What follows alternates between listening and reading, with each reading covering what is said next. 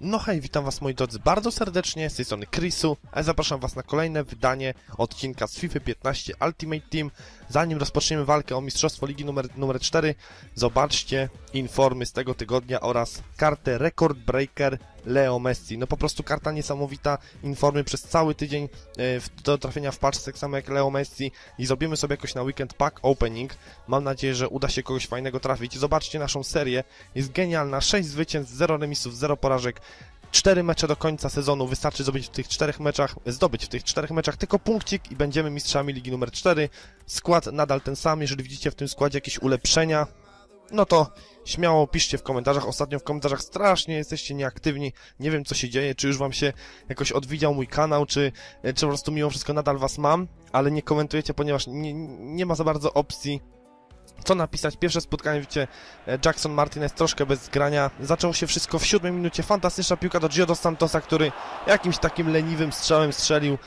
Sirigu nie miał najmniejszego problemu e, ze skasowaniem tej akcji. Kolejna sytuacja, stwierdziłem, że czas na jakieś dribblingi na naszym kanale. Hesse Rodriguez fantastycznie przerzucił piłkę nad, nad swoim rywalem. Giovanni strzela, blokuje Kielini. Strzela kolejny nasz zawodnik, blokuje Radu. I jeszcze raz blokuje Radu. Nie udało się zdobyć bramki z tej ciekawej sytuacji. Rakicicem z dystansu, rzutów wolnych raczej nie strzelajcie. Starajcie im się strzelać z bliższej odległości. Rzut dla naszego rywala. 45 minuta, tak jak widzicie, wiele tych sytuacji nie było. To był pierwszy strzał na bramkę naszego rywala. 45 minucie. My udaliśmy tych strzałów 6, 4 celne, ale niestety żaden nie wylądował w bramce. Stwierdziłem czas na zmiany. Na zmianę jedną, standardową. Delofeu z placu gry zszedł, na nim pojawił się Griezmann. Fantastyczna kontra naszych zawodników. to wpada w pole karne i swoją gorszą lewą nogą kończy fantastycznie tą sytuację. Prowadzimy 1 do 0 od 50 minuty.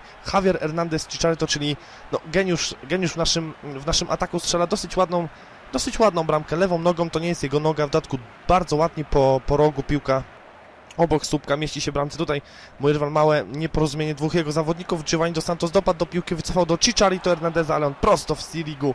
Fantastycznie, spokojnie wyciągnął to Salvator Sirigu, zawodnik Paris Saint-Germain. Sytuacja naszego rywala Mertens. I zobaczcie tutaj. Fantastyczny, genialny, niesamowity gol naszego rywala.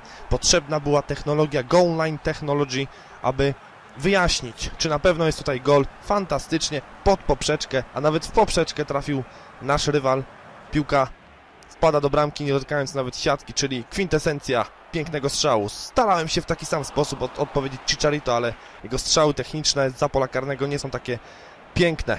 Giovanni Dos Santos ładnie wbiegł w pole karne, ale tu był niestety spalony. Sirigu na wszelki wypadek obronił, Gola w tej sytuacji nie było. Już tutaj się bałem, że Ibarbo jakoś tutaj przelobuje wszystkich i strzeli głową, ale nie strzelił. Mecz to był mecz do wygrania, na pewno. Krótki mecz, ponieważ dużo sytuacji nie było. Był to mecz do wygrania, tylko go remisujemy. Rakitic jak zwykle asysta, Chicharito, można powiedzieć jak zwykle, bramka. Remis wystarczał. Nie jestem z tego remisu zły, chociaż fajnie byłoby zakończyć wszystko 7 meczy, 7 zwycięstw, ale i tak bilans jest genialny. 4 strzały, jeden celny mojego rywala i ten jeden właśnie w bramkę. Mistrzostwo Ligi numer, numer 4. Jesteśmy w lidze numer 3. Przepraszam was... Przepraszam was za mój głos, ale nadal mam straszne problemy z gardłem. Staram się jakoś zaleczyć, ale... No, nie wychodzi mi to na razie dobrze. Ale kręcić mam e, zamiar nadal, mam nadzieję, że Wam to jakoś bardzo nie przeszkadza. Staram się dać jakąś kartę e, naszemu bramkarzowi, ale stwierdziłem, że zostawmy je na, na, na bardziej na najważniejsze mecze e, w sezonie. Na razie ich nie wykorzystujmy.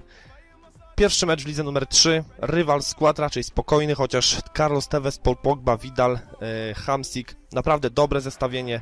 E, Gervinho na lewej stronie. Czwarta minuta spotkania, pierwsza akcja naszego rywala Callejon. Rywal tak często właśnie e, grał typu kółeczka, kółeczka. Nie lubię tego, ale tak grają. No, tak też grają. Gervinho po prostu wpadł w pole karne, nie potrafiłem go żadnym swoim zawodnikiem zatrzymać. Już w piątej minucie Gervinho daje prowadzenie naszemu rywalowi. Kolejna sytuacja to już pięknie rozpykana akcja. Marek Hamsik, zewnętrzna część słupka. Na szczęście nie, nie, nie przegrywam jeszcze 2-0. Biabiani dośrodkowuje w pole karne, Pepe wybija, troszkę zamieszania i znowu Claudio Bravo tym razem ratuje nas od utraty bramki. Jaki słupek to Claudio Bravo po raz kolejny ratuje nas od tego, żeby w 20 minucie było już po meczu. Kolejna sytuacja, o dziwo nasz rywal Callejon, były gracz Realu Madryt, spokojnie wpada w pole karne, nie mogłem go powstrzymać. Callejon daje prowadzenie jeszcze wyższe mojemu rywalowi, który jest ze Szwecji, bo strasznie tutaj szwedzkie barwy dominują, szwedzki herb.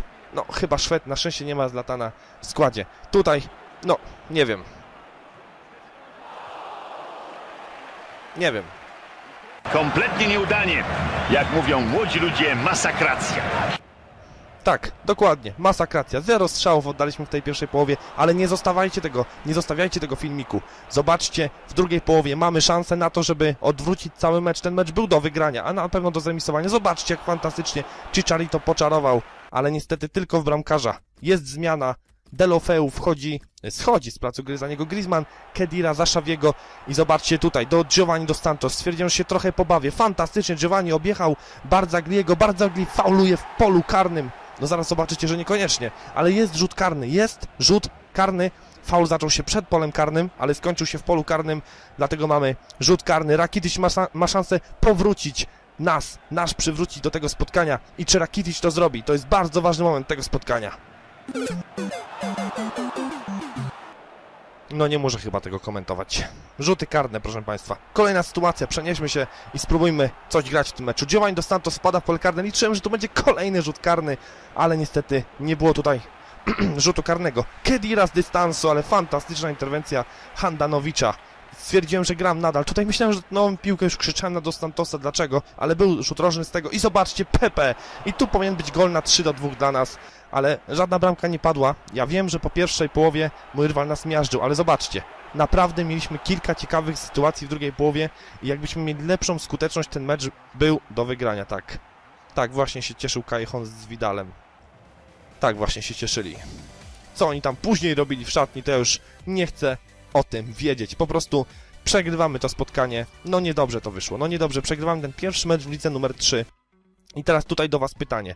Czy przechodzimy na formację z czterema obrońcami, czy mimo wszystko walczymy dalej z trzema obrońcami i dwoma środkowymi pomocnikami defensywnymi? Mamy 70 tysięcy końców. Można to jakoś ładnie zainwestować w waszej, w waszej woli. Zostawiam to wszystko, jak będzie na następnym, w następnym odcinku to wszystko wyglądało. Śmiało komentujcie, czy zostawić właśnie taką formację, jak jest, jakieś tam małe zmiany, czy mimo wszystko kupujemy Marcelo bądź y, Fabio Quentrau oraz na prawą obronę, powiedzmy Montoye lub y, Carvajala, jakoś to staramy się zacisnąć w, w, defensywie, czy mimo wszystko zostajemy tak jak teraz tutaj jest, bo ten mecz naprawdę był do wygrania, a na, na pewno do zremisowania, tylko że, no widzieliście, karnego nie wykorzystujesz, do Santos sam na sam z bramkarzem też nie wykorzystuje, więc no niedobrze. Ja się z wami żegnam, czekam na wasze komentarze, dzięki za oglądanie, trzymajcie się, na razie, cześć!